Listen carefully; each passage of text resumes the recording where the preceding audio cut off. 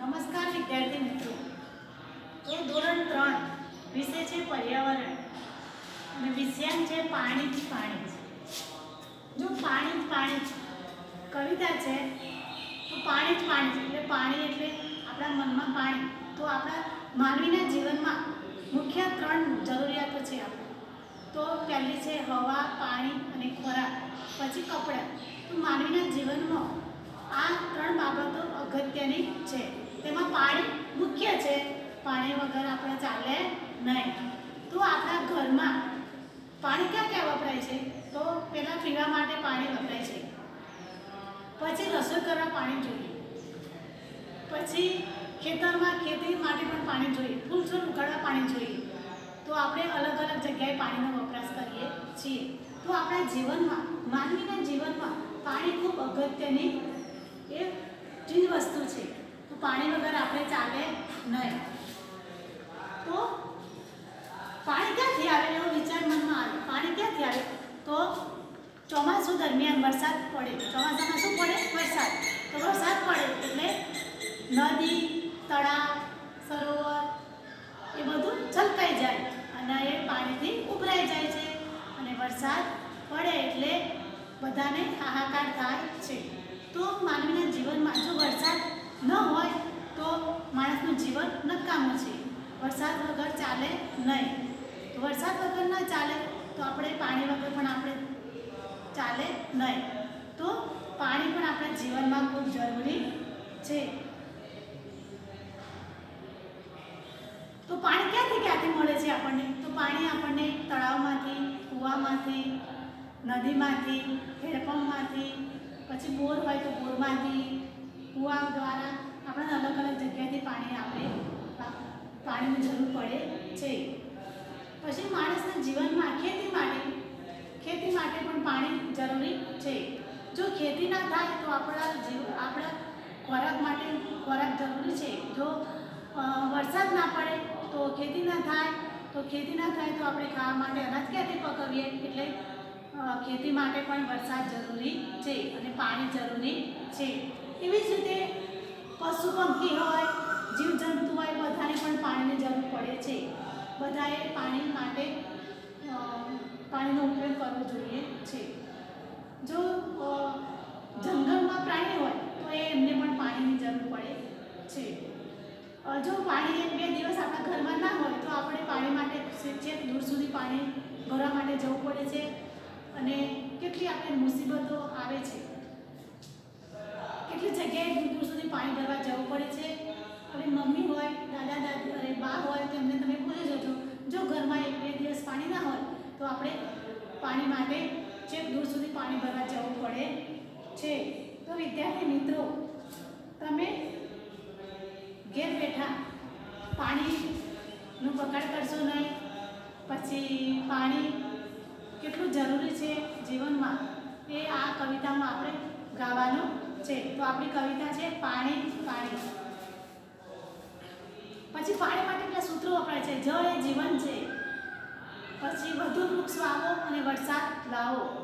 પછી જળ એ જીવન છે એવા સૂત્રો પણ આપણે અલગ અલગ જગ્યાએ જોઈએ છીએ. તો આપણે પાણીનો બગાડ કરવો જોઈએ નહીં અને પાણી આપણે સાવચેતીથી વાપરવું જોઈએ અને બગાડ કરવો જોઈએ નહીં. તો આપણી કવિતા છે પાણી જ પાણી જ. તો કવિતાની શરૂઆત કરીએ. પાણી તમે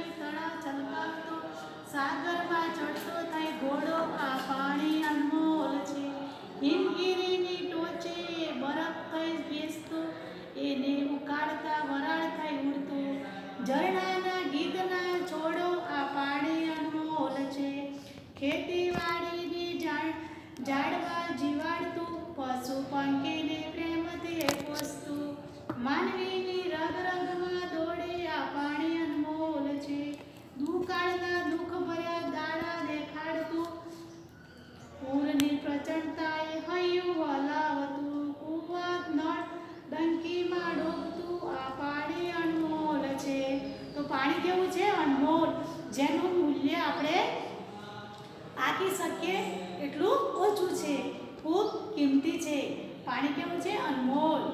અનમોલ છે.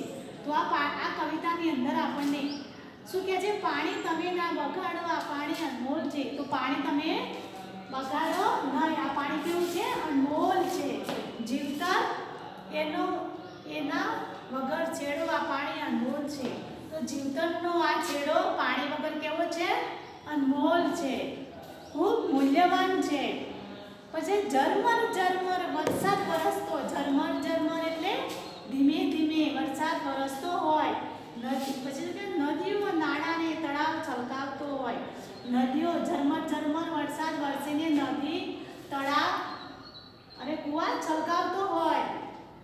સાગરમાં ચડતો થાય ગોળો, આ પાણી અનમોલ છે તો સાગરમાં ચડતી થાય અને તે ઘોડાની વેગે પાણી દોડે છે તે આ પાણી કેવું છે અનમોલ છે. હિમગીરીની ટોચે એ બરફ થઈ બેસતું. હિમગીરીની ટોચે એટલે હિમાલયની ટોચે બરફ થઈ બેસતું. બરફ થઈને તે બેસે છે અને ઉકાળતા વરાટ થઈ જતું. અને જેમ જેમ ગરમ ગરમ હવા આવે તેમ વરાટ થઈને ઉડતું હોય એવું આપણને લાગે છે. ઝરણાના ગીતના છોડો આ પાણી અનમોલ છે. ઝરણા ઝરણા, તમે જોયા છો? ઝરણાના ગીરના છોડ, આ પાણી અનમોલ છે. પછી શું કે ખેતીવાડીને ઝાડવા જીવાડતું ખેતીવાડીને જીવાડવા માટે એટલે ઉગાડવા માટે અને પશુ પંખીને પ્રેમથી પૂછતું પશુ પંખી પાણીમાં નાતા હોય છે અને સુખેથી પાણી પીતા હોય છે. એમના માટે પણ પાણી ખૂબ અનમોલ છે. ખૂબ મૂલ્યવાન છે. માનવીની રગરગમાં દોડે આ પાણી અનમોલ છે મનુષ્યના જીવનમાં, રોજિંદા જીવનમાં અગલે ને ડગલે પાણી ખૂબ અનિવાર્ય છે અને તે રગરગમાં દોડે છે અને પાણી ખૂબ મૂલ્યવાન છે. દુકાળના દુઃખ ભર્યા દાડા દેખાડતું. દુકાળ દુકાળ એટલે વરસાદ ના પડે. એને શું કહેવામાં આવે છે? દુકાળ કહેવામાં આવે છે. જે દુકાળમાં જે પાણીની આપણને જે તકલીફ પડે છે અને પાણી વગર આપણને કેટલા ફાફા મારવા પડે છે એ દુકાળ ભર્યા, દુઃખ ભર્યા દાડા, એ એ દેખાડતું પૂરની પ્રચંડતાએ હૈયું હલાવતું પૂરની પૂર આવે અને પ્રચંડતાએ હૈયું હલાવતું, જ્યારે પૂર જ્યારે વધારે વરસાદ પડે અને પૂર આવે છે, ત્યારે હૈયું હલાવતું. કૂવા, નદી, તળાવ અને ટંકીમાં ડૂબતું આ પાણી અનમોલ છે. નદી કૂવા અને તળાવ છલકાવતું આ પાણી ખૂબ અનમોલ છે, ખૂબ જરૂરી છે. તો વિદ્યાર્થી મિત્રો, આ કવિતામાં આપણને પાણી કેટલું અનમોલ છે એ વાત કરવામાં આવી છે. તો આ પાણી કેટલું મૂલ્યવાન છે? આપણે પાણીનો બગાડ કરવો જોઈએ નહીં અને પાણીનો આપણે સંગ્રહ કરવો જોઈએ તો આપણે પાણીનો સંગ્રહ ક્યાં ક્યાં કરીએ છીએ તો આપણે પહેલાં તો ઘરમાં ઘરમાં આપણે પાણીનો સંગ્રહ કેવી રીતે કરીએ છીએ? તો આપણે ઘર, ઘરમાં ટાંકો હોય ઉડી હોય, પછી માટીના વાસણ હોય, પિત્તળના હોય, પછી સ્ટીલના વાસણમાં ડોલ હોય પ્લાસ્ટિક જેવા વસ્તુઓમાં આપણે પાણીનો સંગ્રહ કરી શકીએ છીએ. પછી બીજો છે, પાણી તમને ક્યાં ક્યાં જોવા મળે છે? તો પાણી આપણને નદી, તળાવ, પછી સરોવર હોય કોઈ નદી હોય તો આપણને પાણી આપણને ત્યાં જોવા મળે છે. તો વિદ્યાર્થી મિત્રો, તમે પાણીનો ઉપયોગ ક્યારે ક્યારે કરો છો? એવું પૂછવામાં પ્રશ્ન આવે તો આપણે પાણીનો ઉપયોગ પહેલાં સવારમાં આપણે ઉઠીએ એટલે આપણે બ્રશ કરવા માટે કરતા હોય છે, પછી નાહવા માટે કરતા હોય છે, મમ્મીની રસોઈ કરવા કામમાં, પછી કપડાં ધોવા વાસણ ધોવા જેવી અનેક અનેક જગ્યાએ આપણે પાણીનો ઉપયોગ ડગલે પગલે કરતા હોઈએ છીએ. એ પાણી ક્યાંથી આવે છે? તો પાણી આપણે વરસાદ દ્વારા કૂવામાં, તળાવમાં, નદીમાં એ રીતે પછી આપણા ઘરની અંદર પાણી આપણે લાવી શકીએ છીએ. શું દરેકની પરિસ્થિતિ અલગ અલગ હોય છે? કોકના ઘરમાં મોટર હોય, બોર હોય હેન્ડપંપ હોય, એવા ઘર આપણે પાણી લાવીએ છીએ. કોકના ઘરમાં ના હોય તો એને ખૂબ દૂર સુધી પાણી ભરવા માટે જવું પડે છે. અને પાણી આપણે, પાણીનો આપણે સંગ્રહ કરવો જોઈએ, પાણી આપણે બગાડવું જોઈએ નહીં. એના માટે વિદ્યાર્થી મિત્રો, પાણી ખૂબ જીવનમાં જરૂરી છે. તો આપણે પ્રશ્ન છે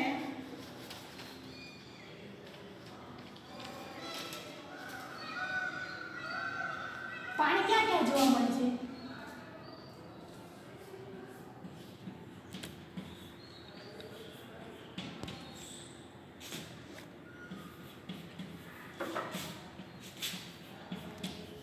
પેલું ઘેર વોચ વોચ વોચમાં સંગ્રહ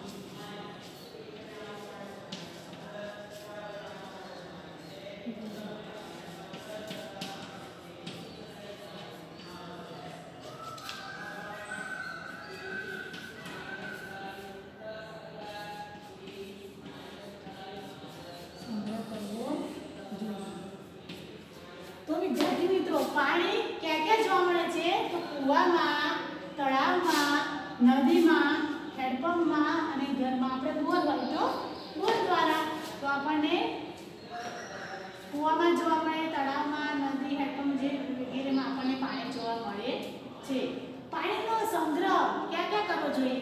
તો આપણા ઘરની અંદર પાણીનો સંગ્રહ પૂરી હોય તો પૂરીમાં ટાંકીમાં, વાસણમાં, પછી પાણીનો હોજ બનાવેલો હોય તો હોજમાં વગેરેમાં આપણે પાણીનો સંગ્રહ કરવો જોઈએ. પછી તમે પાણી ક્યાંથી મેળવો છો?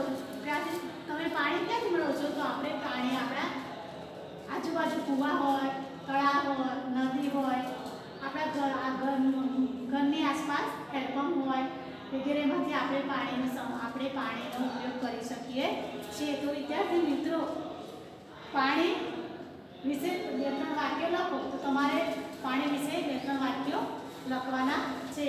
તો પાણી જીવન, મનુષ્યના જીવનમાં ખૂબ ઉપયોગી છે. પાણી પાણી વિના ચાલે નહીં. જળ એ જીવન છે. પછી વધુ વૃક્ષ વાવો અને વરસાદ લાવો જેવા સૂત્રો આપણે સૂત્રોનો ઉપયોગ કરીને આપણે પાણીને બચાવવાનું છે. એટલે જળ એ જીવન છે. એ પાઠમાં આપણે